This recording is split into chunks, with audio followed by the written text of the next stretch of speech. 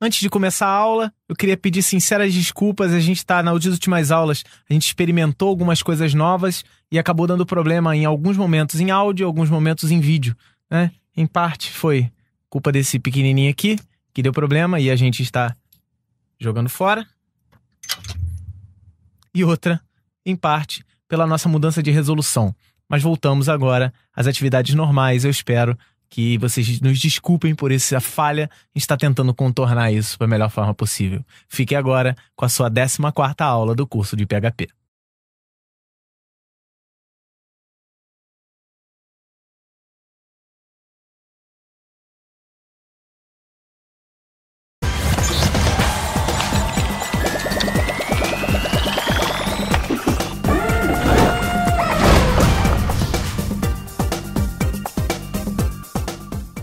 Olá, seja bem-vindo a mais uma aula do seu curso de PHP. O meu nome é Gustavo Guanabara, eu sou seu professor, e nessa 14 aula voltamos para responder mais uma pergunta: como criar rotinas em PHP?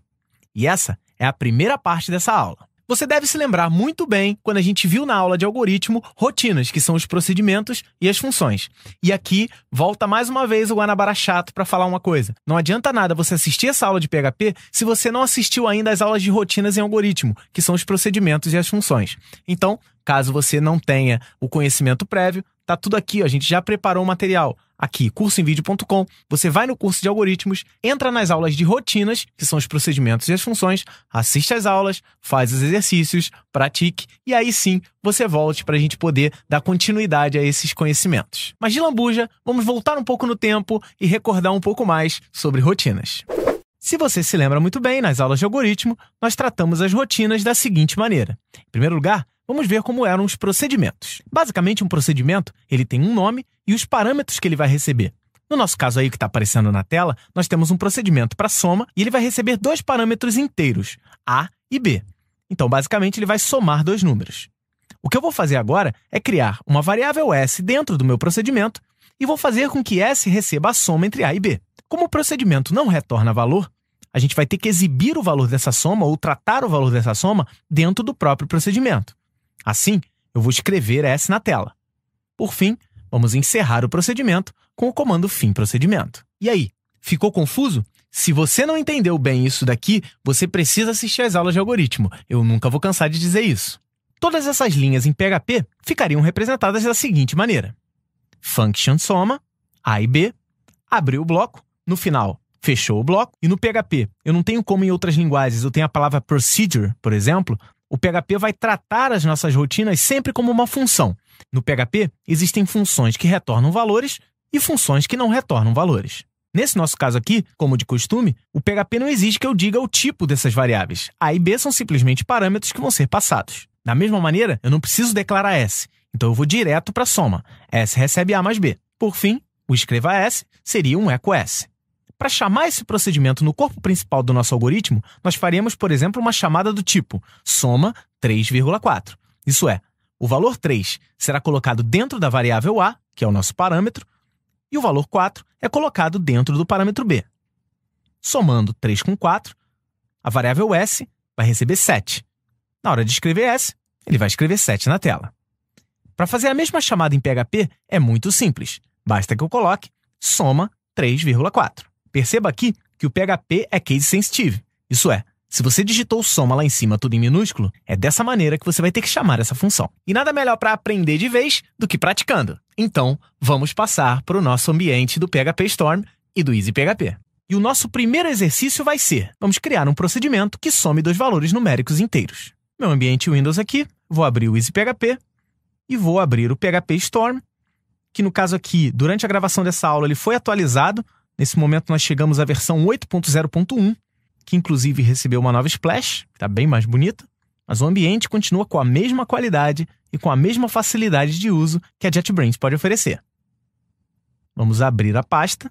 Previamente, eu já criei uma pasta lá em arquivos de programas, EasyPHP, www, aquele mesmo esquema de sempre. Peguei o pacote que você encontra no cursoemvideo.com e vou criar minha aula 14. Clicando em OK, ele vai abrir a pasta e nós vamos ter acesso a todos os arquivos. No meu caso aqui, eu só tenho o modelo PHP e o modelo HTML. Vou abrir o modelo PHP, que é o que nós vamos utilizar agora, e vamos salvá-lo como, para a gente preservar ele bonitinho, salvar como 01 função. Vamos aqui criar o nosso procedimento. Então, eu vou ter um function, nome da minha função, que vai ser soma. Quais são os parâmetros? A e B. Vou abrir e fechar o bloco. E lá dentro, nós vamos colocar a variável S recebendo A mais B. Exatamente como você viu no slide anterior. Feito isso, vamos escrever na tela a soma vale. Vamos colocar S. No nosso corpo principal do programa, nós vamos fazer uma chamada. Soma. O próprio PHP Storm já identifica que eu tenho uma função soma que vai receber dois valores. Então, posso fazer a chamada aqui, ele me indica que eu tenho que indicar dois valores. 3 e 4. Ponto e vírgula no final. Vamos salvar esse arquivo e vamos abrir no nosso ambiente. Botão direito sobre isso PHP, local web, nós abrimos o nosso ambiente, temos aqui a aula 14 e aqui nós temos o arquivo 01 função, mostrando que a soma vale 7. Fazer uma pequena alteração aqui, vou colocar isso aqui dentro de um parágrafo, para a gente poder utilizar várias chamadas. Então, por exemplo, aqui, ó, fazer a soma de 3 com 4, vou fazer a soma de 8 com 2, que no meu caso aqui na outra linha vai estar lá ó, a soma de 8 com 2, que vale 10. Podemos fazer, por exemplo, uma variável x receber 9 e uma variável y receber 15 e chamar a função soma passando como parâmetro x e depois y. Sem problema algum, isso pode ser feito. Salvando e atualizando, a soma dá 24, que é a soma entre 9 e 15. E aí, deu para compreender?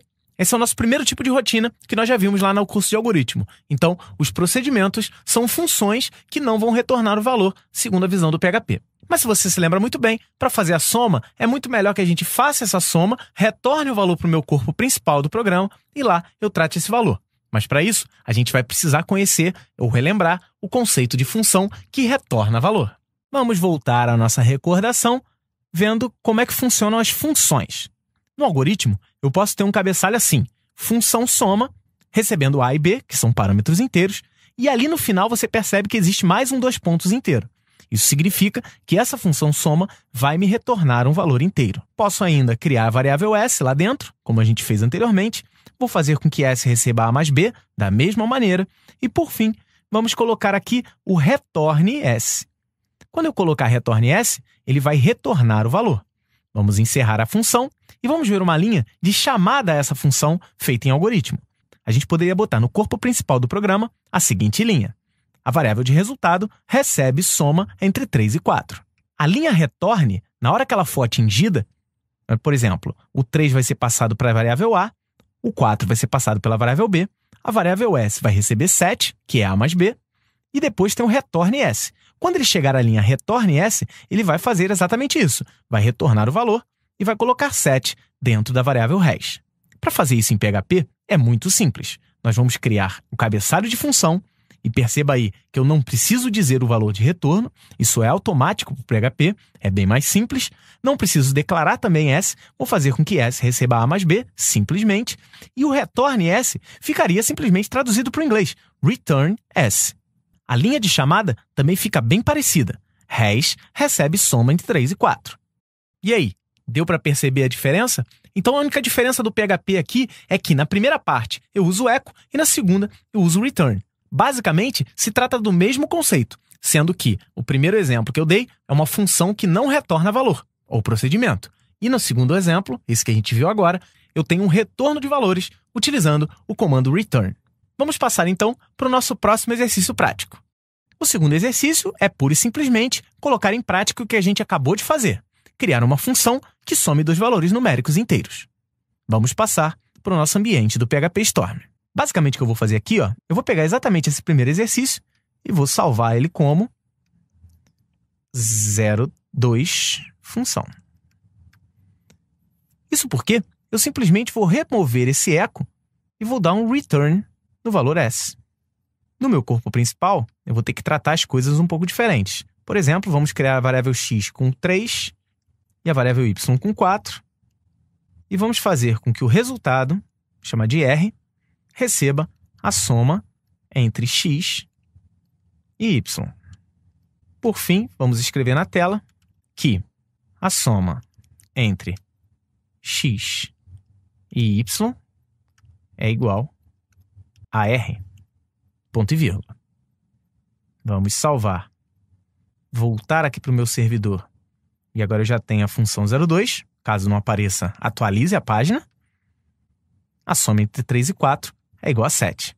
Você pode fazer isso para qualquer valor, como por exemplo, menos 4 e 8. Menos 4 mais 8 vai dar 4. Outra coisa que você pode perceber é o seguinte: eu não necessariamente tenho que criar essa variável s. Eu posso remover essa linha, pura e simplesmente, e vou colocar um return no lugar de s, eu vou retornar a mais b. Isso pode acontecer sem problema algum. Você vai ver que ele continua. Deixa eu até mudar os valores de x e y aqui para ele. 3 e 8. Vai ver que a soma vale 11. A soma entre 3 e 8 vale 11. Então, não necessariamente eu tenho que criar uma variável para fazer a conta. Eu posso retornar diretamente uma expressão.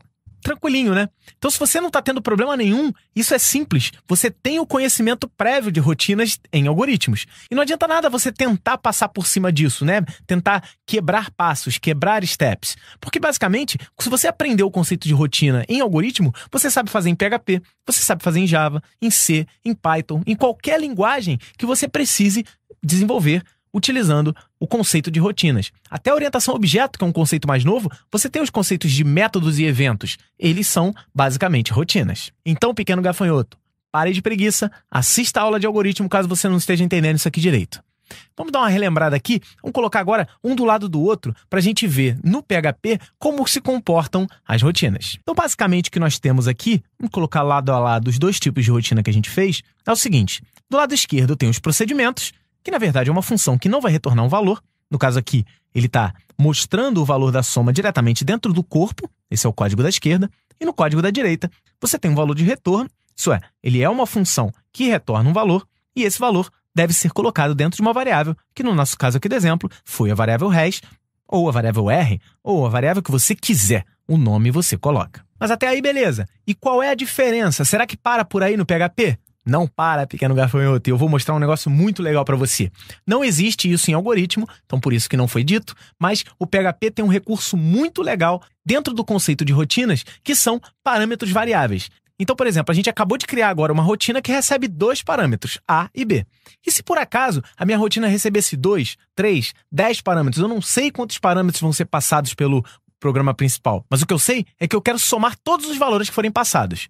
Tem um jeito no PHP e eu vou mostrar como. A solução aqui é aprender como as rotinas com múltiplos parâmetros em PHP funcionam. Basicamente, nós vamos fazer o seguinte: imagine a seguinte situação. Eu vou criar um procedimento soma e esse procedimento vai receber vários valores. No nosso caso aqui, que está aparecendo na tela, nós vamos receber 3, 4, 8, 1 e 2. Nós estamos recebendo cinco parâmetros. Para fazer isso em PHP, é muito simples.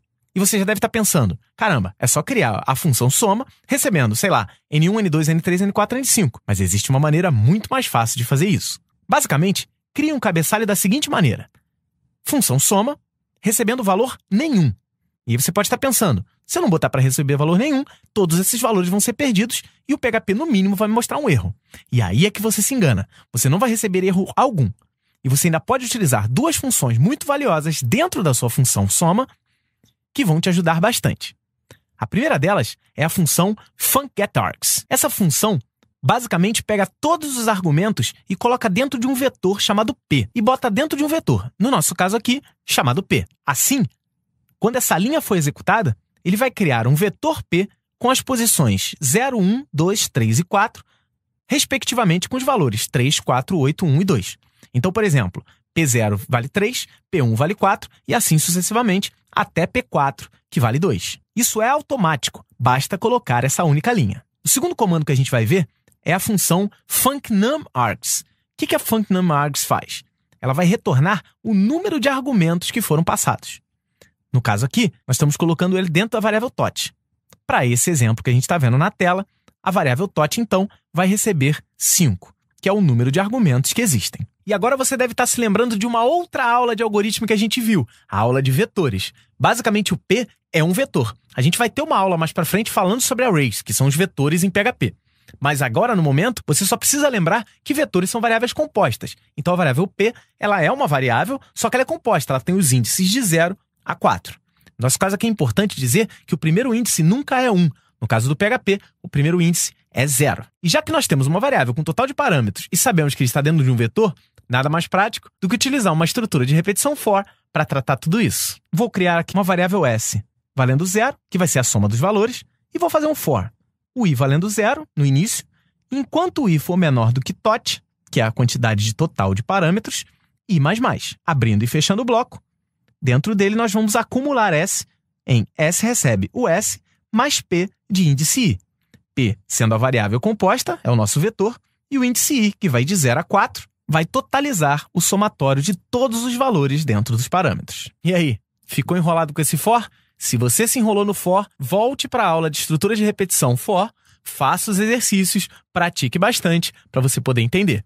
O curso de PHP, ele não é assim, vou cair numa aula, vou assistir ela e pronto, já sei PHP. Isso é uma caminhada. Cada passo, cada aula é um passo novo. Então, você precisa ter passado pelos passos anteriores para conseguir chegar a esse. Por fim, nós vamos fazer o retorno do valor utilizando return s, que quando for atingido, vai jogar o valor da soma desses cinco valores dentro da variável hash. Vamos ver como isso funciona na prática, fazendo o nosso terceiro exercício. O enunciado é simples. Vamos realizar uma soma com múltiplos parâmetros. Vou abrir aqui meu arquivo de modelo, que está vazio, e vamos salvá-lo como 03 função. Aqui dentro vamos criar a nossa função chamada soma e não vai ter parâmetros estipulados. Nós vamos sim colocar o nosso vetor de parâmetros, que eu vou chamar de P mais uma vez, que ele vai se chamar a func getArgs. Percebe aqui que tem uma facilidade muito grande no PHP Storm, eu começo a digitar ele completa para mim. Vou criar uma variável de total, vou chamar de T, que vai ser o func numargs. Vamos zerar a variável s e vamos usar um for com a variável i, começando com zero, e enquanto a variável i for menor do que t, ele vai somar mais um no i. E vamos abrir o bloco. Dentro desse bloco, nós vamos fazer com que a variável s receba ela mesma mais a variável p, que é o meu vetor, no índice i. Lembrando aqui, ó, que como S recebe S, eu posso substituir isso por S mais igual. Já viu isso em operadores. No fim, vamos retornar o valor de S para minha função principal. Agora, eu posso começar a trabalhar. Vou criar uma variável de resultado, que vai ser a soma entre 3, 5 e 2, por exemplo. Vou passar só três parâmetros por enquanto. Vou mostrar o valor aqui.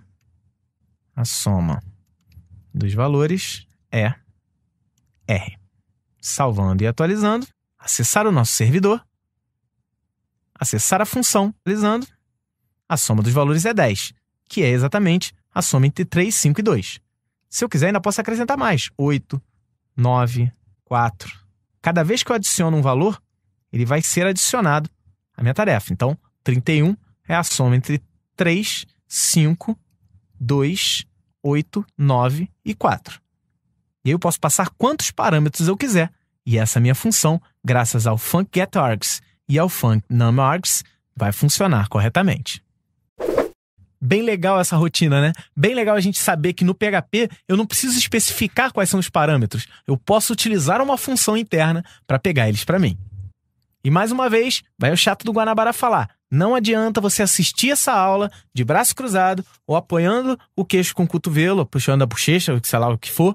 Você não vai aprender PHP. Você vai saber ler um código, mas você não vai saber fazer. Então, para de preguiça, pequeno gafanhoto, arregace essas mangas e vai pro computador. Pratique bastante. Mais uma vez, eu queria agradecer a todo mundo, pedir desculpa pelos problemas de áudio e vídeo que tiveram nas últimas aulas. Eu espero que eles não se repitam. Se se repetir, a gente pede desculpa mais uma vez, não tem problema nenhum. E eu queria pedir mais uma coisa. Como sempre, Clicando aqui, você assina o canal e sempre que tiver aula nova você vai ser avisado. Aqui nesse cantinho, a gente tem todas as aulas de PHP, então aqui é uma playlist completa, desde a primeira até a última aula, curso completo, ele vai ser feito para iniciantes. Aqui, ó, nessa playlist, você vai ter acesso a isso tudo. E quando terminar o curso, aqui, ó, aqui no meio, as pessoas gostam quando eu abraço, né? A gente abraçando aqui, um botãozinho, bonitinho. Esse botão, a gente vai ter acesso ao curso em vídeo. Aqui é a sua experiência completa. Aqui você vai ter acesso a todas as aulas, os pacotes, os arquivos que você acabou de ver que a gente utilizou aqui, o arquivo de padrão, o arquivo de modelo, tudo isso disponível aqui para você. E quando o curso estiver completo, quando chegar na última aula, o tão desejado e esperado certificado do curso em vídeo totalmente válido em território nacional. É um grande orgulho para mim participar desse projeto. A gente se vê na semana que vem com a 15ª aula, que é a segunda parte das aulas de rotina. A gente se vê lá. Pratique bastante. Um forte abraço e até a próxima. E décima décima... Décima. Décima é ótimo. E nessa... Ah! Mas de lambuja, a gente já vai... Mas de lambuja, vamos voltar e aí, deu para compreender? Então, essa, essa é o iníciozinho da coisa. A gente viu, essa é o nosso. E aí? Eu posso remel. Remel. Remel. Pra conseguir chegar aí.